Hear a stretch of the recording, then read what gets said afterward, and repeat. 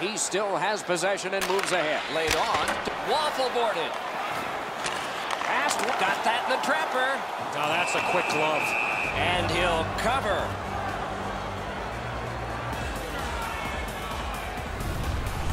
Whoa, he was able to get the glove on this excellent scoring chance. Looked like he had him beat, but he's in good shape and he makes it. And the loose puck gathered in by Grigorenko.